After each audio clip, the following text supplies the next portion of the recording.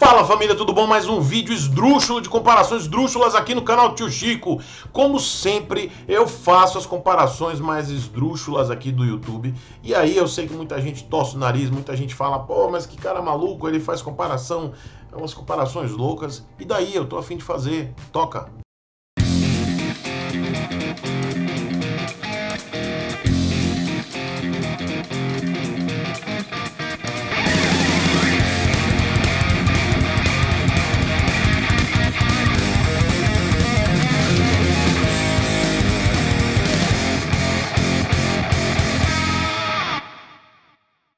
Não é tão esdrúxulo assim. Eu peguei só duas perguntas, duas dúvidas e coloquei no mesmo vídeo. Mas não chega a ser esdrúxulo. Mas em breve vocês vão ver um comparativo maravilhoso.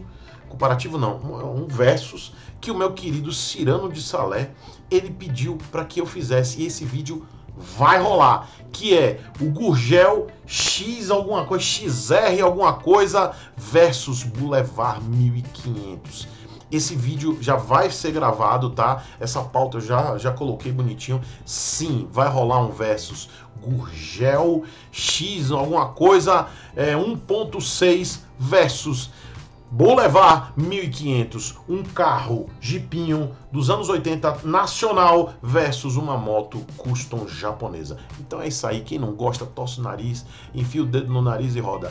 Enfim, vamos nessa. Crosser ou Bros? Quem pergunta aqui é Junqueira. O Junqueira está aqui do Rio de Janeiro. Chico, bom dia, meu amigo. Primeiramente, gostei muito do seu canal. Você está de parabéns com os vídeos que está fazendo, ajudando demais quem busca se aventurar no mundo das duas rodas. E o mais legal é, que eu gosto do seu canal é, são as variedades de cilindrada que você faz os vídeos para todas as classes sociais. Muito obrigado, Junqueira. A ideia é essa mesmo, é a gente falar para todo mundo, né? Falar tanto para a galera que tem grana, a galera que não tem grana, a galera que quer uma moto de alta cilindrada e a galera que quer simplesmente uma moto barata. Fica aqui o meu grande agradecimento, que Deus continue te abençoando, te abençoando. Muito obrigado, Junqueira. É... Agora vamos para a minha dúvida, risos. Eu tenho, eu tenho uma Phaser 250 no 2007, nunca gostei de motos altas, mas estou com um probleminha na coluna e como uso muito minha moto, estou pensando em pegar uma com mais ou menos a faixa de preço da minha. A princípio estou querendo comprar uma Crosser ou a Bros no valor de no máximo 8 mil reais. Qual você me indica? A Bros ou a Crosser nesse valor? Muito obrigado e muito obrigado. Junqueira, é, já de cara eu vou dizer para você, eu, eu não gosto muito da Bros, tá? Eu, eu não, não, não, simpatizo muito por essa moto. Essa moto é. Não tenho nada assim, não tenho nada contra. Eu simplesmente não gosto dela. Assim como eu também tenho ranço com a MT-03 e a R3. Eu acho a R3 bonita. Eu queria mandar um beijão pro pessoal da RL Motos, ó. Beijo, pessoal da RL Motos, RL Motos.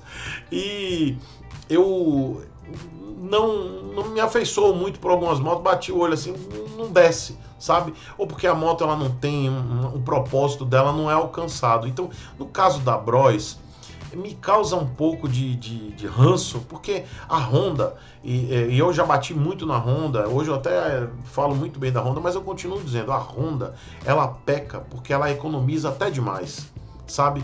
Ela economiza em coisas que ela não precisava economizar. A Bros tinha tudo para ser uma moto muito, muito de primeira, de ponta para a categoria, mas não, eles economizam em absolutamente tudo. Colocam painel porco, colocam porco e parco, colocam acessórios, coisas muito básicas numa moto que é básica, é para ser uma moto barata, mas que poderia ter algumas coisas a mais. Poderia ter aí uma perfumaria e algumas coisas muito melhores, inclusive do que a concorrente que é a Crosser.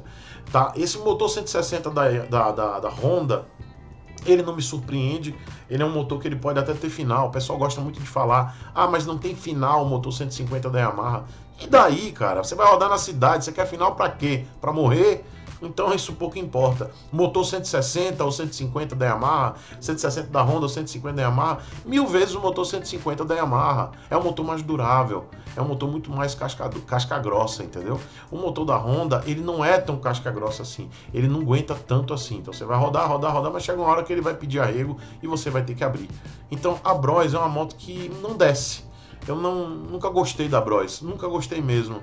E é tanto que aqui no canal eu nunca indiquei muito bem a Bros. Só em um momento que eu indiquei a Bros ESD num vídeo, porque era um, era um comparativo muito específico. A pessoa estava falando em relação à segurança, a freios. Então, assim, Claro que eu não vou ser generalista, não vou dizer, ó, é a, a Bros é uma porcaria, não vale, e é isso aí, é cross na cabeça e vamos nessa. A cross é e vamos nessa. Não, depende muito da avaliação. Então por isso que às vezes as perguntas do, Serpo, do Sepúlveda Responde, elas são perguntas que parecem que são perguntas é, repetitivas, mas não, o viés é diferente. Então, é, um, às vezes você pergunta versos da mesma moto, das mesmas motocicletas, mas o viés é sobre segurança. Então, ah, qual que é mais interessante? Claro que uma Bros ESD, que tem freio a disco nas duas, é, é mais interessante do que na época a Crosser que não tinha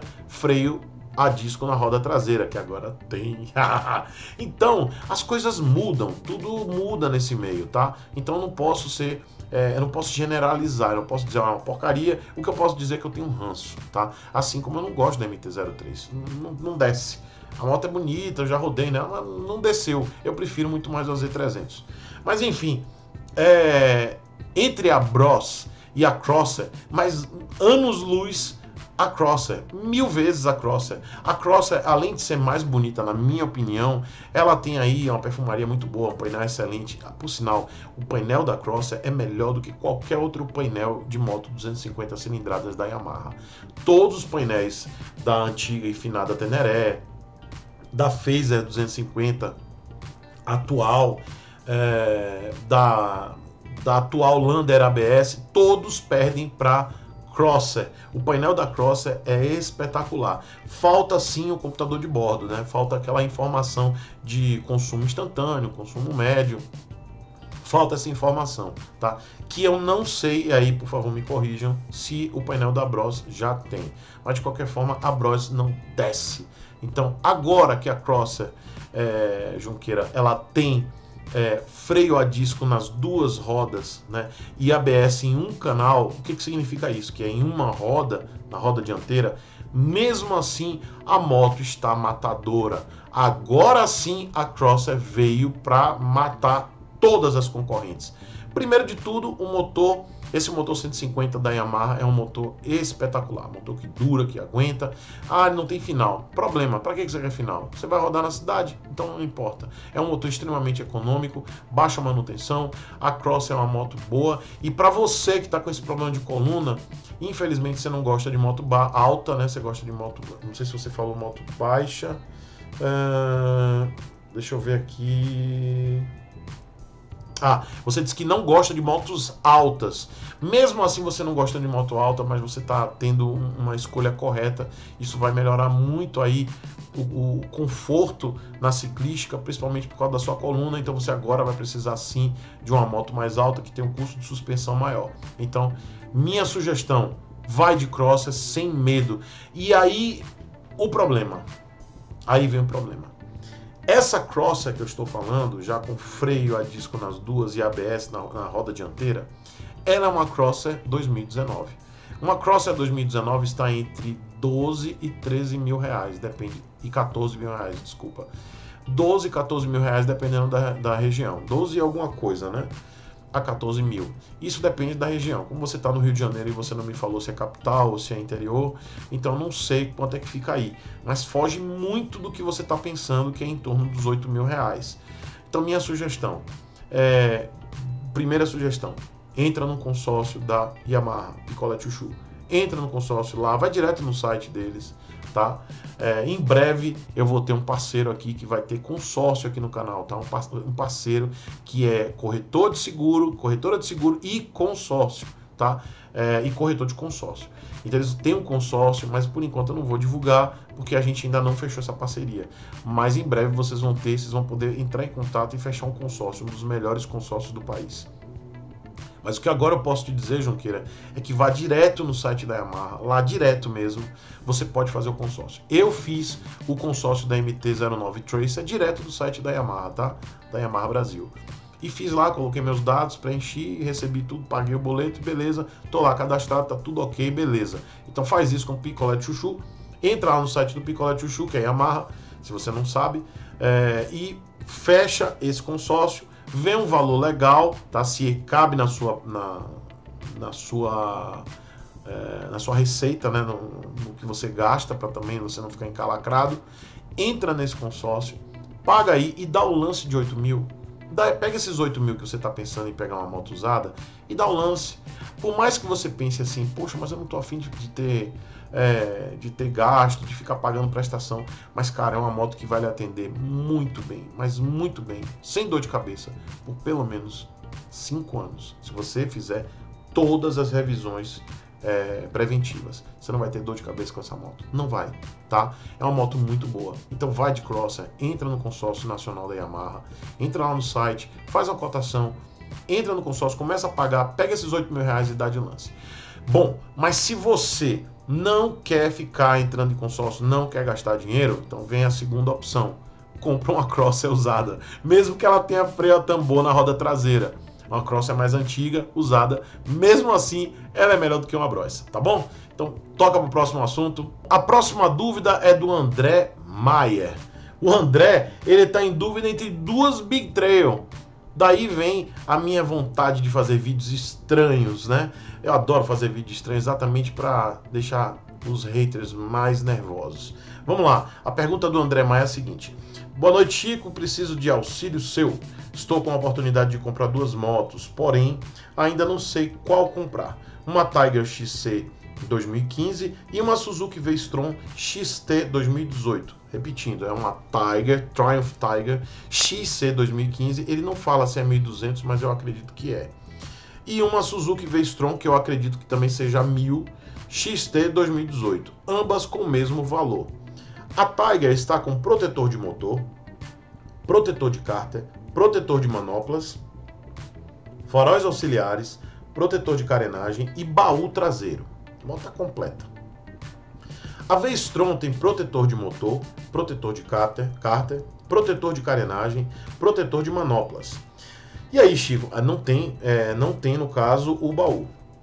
E aí, Chico, qual a sua opinião? Te agradeço se você puder responder logo, pois quero fechar negócio até quarta-feira que vem. E sua opinião é muito importante para mim. Desde já agradeço. Parabéns pelo canal. Não perca um vídeo seu. Abraço, André de Balsa Nova, Paraná. Obrigado, André. André Maia. Observação. Você já me ajudou a decidir entre a Suzuki DR800 e a Super Teneré 750. Claro que você foi de DR800, né? Enfim, eu sou um fã da DR800, mas eu adoro as duas. André, seguinte, não, não tem muita dúvida em relação a isso não, cara. Como você está falando de duas motos com a diferença de três anos, e sendo que são duas motos excelentes, excelentes, tá? Mas, cara, por mais que eu goste das bicilíndricas, eu, eu bicilíndrico é vida, sabe? Hoje eu, eu tô apaixonado pelas motos bicilíndricas, principalmente é, motor em V. E esse motor V-Twin da, da V-Strom é um motor que eu sou apaixonado. Eu amo as V-Strom, são motos extremamente duráveis, de manutenção simples, né? Mas elas têm um probleminha que é a questão da transmissão por corrente. Isso irrita, porque você tem que ficar fazendo a lubrificação, manutenção e em viagem isso é um saco. Eu sempre tive moto, já tive moto com eixo cardan, mas é, a maioria das minhas motos, principalmente o, cad, o cadivão, né? O, a, o cadivão ele é transmissão por corrente, então, por corrente.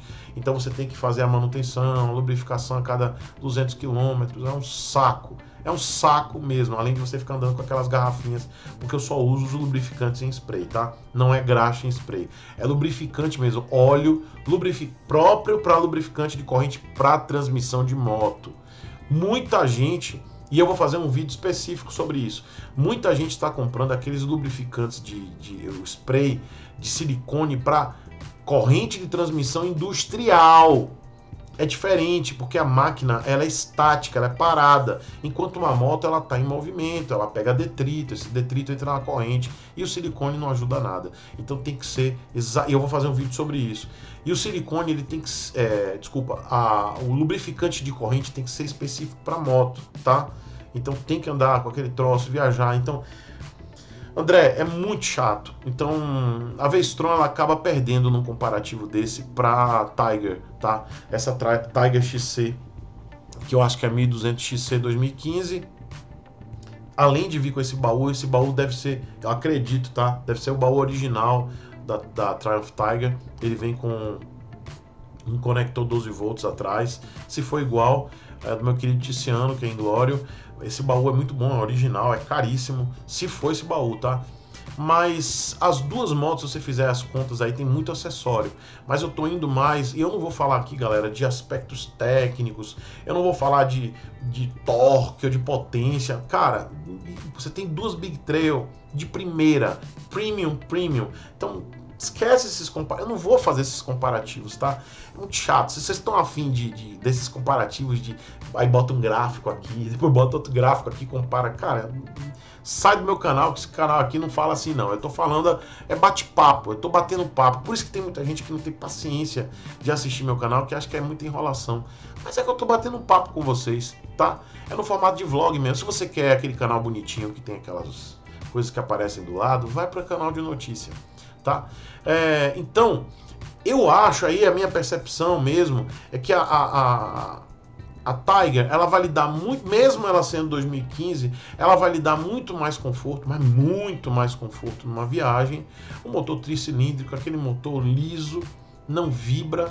A moto tem um acabamento espetacular, tá? Já rodei na 2015 dessa, tem um acabamento espetacular. A moto tem tudo que você precisa, inclusive ela acaba tendo mais eletrônica embarcada para dar mais conforto do que uma Vestron, que acaba a Vestron, ela de, de das, dessas Big Trails, ela acaba sendo a mais simples, tá? De todas. Não, não que ela seja não seja tão boa, mas ela acaba sendo mais simples. É, e daí algumas vantagens em relação à Tiger. A Vestron acaba tendo uma manutenção mais em conta, acaba tendo uma manutenção mais barata. Então, se você se preocupa com manutenção, meu amigo, a Vestron é mais interessante. A manutenção é mais barata, tá certo? No caso da Tiger, você vai ter uma manutenção um pouco mais salgada, tá? E se também você se preocupa muito com questões de, de muita eletrônica e se der problema, a Tiger talvez te dê mais dor de cabeça do que uma Vestron. Mas vamos lá. Antes de eu, claro, vou deixar aqui claro. Tiger XC, tá? É, 2015, sem dúvida. Mas antes de você fechar esse negócio, eu não sei se você vai assistir esse vídeo a tempo, tá? Porque esse vídeo ele vai sair provavelmente na quinta-feira, dia 4 de abril. Então não sei se você já vai ter comprado, se vai ter escolhido, espero que não. Acho que você não, espero que você não tenha ainda tomado a decisão. Que você assista antes esse vídeo. Não compre nenhuma das duas motos sem levar o teu mecânico de confiança ou sem levar essa moto ao teu mecânico de confiança. É muito importante que o seu mecânico faça uma avaliação completa. Eu já fiz um vídeo na RL Motos, que é o nosso patrocinador de oficina mecânica de motos aqui do canal, e tinha exatamente uma Triumph Tiger 1200 lá. E foi muito legal esse vídeo porque o Dan, ele mostrou tudo da moto, todos os detalhes, eles tinham feito a manutenção, e foi uma manutenção premium, toda bonitinha, desmontaram tudo, lubrificaram tudo, ele mostrou lá os detalhes do eixo cardan. Então, assim, é muito importante que você tenha uma, uma oficina mecânica ou um mecânico que entenda que possa lhe dizer como é que tá a moto. Leva as duas se você tiver na dúvida. Leva a V-Strom e leva a Tiger. Porque na avaliação do mecânico, ele vai lhe dizer, olha, cara, essa moto tá mais bem cuidada essa moto aqui foi mal cuidada. Essa moto realmente o cara fez as manutenções preventivas. Essa aqui não. Porque não adianta eu te dizer, é, Maia, André, cara, vai na, na, na V-Strom, então vai na Tiger. Mas vai que essa. Se a gente estivesse falando de moto zero, eu diria, vai na Tiger. Sem medo. Moto zero. Se ambas tivessem o mesmo preço, como você falou, não tem, né? Mas vamos criar um universo que tivesse. É, entre as duas, vai na Tiger. Mas no caso de uma moto 2015 e uma moto 2018, não importa, as duas foram usadas. A gente não sabe se os proprietários eles cuidaram dessas motos. Então eu não posso ser doido aqui de chegar e dizer, tá, vai lá, se joga naquela 2015, compra. Não. Você tem que primeiro avaliar. Vai que essa 2015 que eu disse, beleza, compra, ela não tá legal, ela não tá bem cuidada, ela não teve a manutenção preventiva feita é uma moto que o cara rodou simplesmente e não fez manutenção nenhuma. Isso vai ser uma bomba. Depois de alguns meses vai explodir tudo na tua mão e aí, cara, uma moto dessa, a manutenção é cara, é muito cara. E aí vai que essa V-Strom que eu disse não pega, ela está em melhor estado. Até porque é uma moto mais barata de manutenção da categoria. Então, eu solicito que você, antes de fechar qualquer negócio, leva no oficina. Não é para levar na oficina do lugar que vende ou no que o vendedor vai dizer, não, leva nesse mecânico que quer dar confiança do cara. Não, leva no mecânico da sua confiança, tá? Se você não tem mecânico de confiança, não compra nenhuma das duas, pega a moto zero tá? Se você tem grana para comprar essas duas motos, junta mais um pouco, pega a moto zero quilômetro. Eu não aconselho, se você não tem um consultor, um mecânico que possa te ajudar e te auxiliar para comprar uma moto com um valor agregado tão alto, eu não aconselho você pegar, tá? Pega a moto zero. Moto zero você não vai ter dor de cabeça, teoricamente. Então, faz isso que eu tô te dizendo, segue essa dica. Se você não tem mecânico de forma alguma para poder te orientar, não compra nenhuma das duas, pega a moto zero. Mas se você tem um bom mecânico, ele vai com certeza, além do que eu vou te dizer, pega a Tiger. Mas se ele disser, cara, entre as duas, vai de V-Strom, então segue o teu mecânico. Tá certo, André? Então é isso. Pessoal, deixando aqui mais um lembrete é, para finalizar o vídeo, não esquece de dar o joinha. Se você não é inscrito, se inscreve. Se você viu esse maldito sininho, toca nesse maldito sininho. E mesmo que você não queira tocar no sininho, é o seguinte: aqui no canal tem vídeo todos os dias a partir das 7 da manhã. Todo dia, com exceção de sábado e domingo. Só que ultimamente eu estou postando sábado e domingo para compensar os dias que eu fiquei sem postar. Então estou postando sábado e domingo aí pelo menos por esse mês de abril. Então, é, mesmo que você não receba notificação nenhuma do YouTube, saiba, vai lá, Chico Sepúlveda, no canal Chico Sepúlveda, e tem vídeo novo todo dia a partir das 7 da manhã, beleza? E mais um recadinho, até o dia 12 de abril, a rifa da MT-07 será vendida. Depois disso, tchau, tchau MT-07 o vencedor vai ficar feliz com a moto novinha. É um MT-07 2015 com 23 mil quilômetros rodados. A moto não tem ABS, tá? É a primeira versão da MT-07 que veio aqui no Brasil. A moto tá novinha, super bem cuidada. Quem sabe como eu rodo aqui, sabe como eu cuido bem das minhas motos. E eu tô muito feliz. Demorou pra caramba. A meta de 500 cotas foi alcançada, então não tem mais prorrogação, galera acabou, não tem mais prorrogação. Então, quem quer comprar a cota, quem quer participar, 80 reais, tá? Acesse o site chicosepulveda.com. Lá você vai poder fazer o pagamento via PagSeguro, através de boleto bancário, cartão de crédito ou débito eletrônico, tá certo? Então não tem, não tem erro. Acessa lá, é tudo automático, você se cadastra, eu não me envolvo com nada disso, tá? Tem algumas pessoas que ficam com dúvida. Se tiver dúvida, tem meu WhatsApp lá no site. Eu, eu manda mensagem, eu tiro as dúvidas, não tem problema nenhum, tá bom?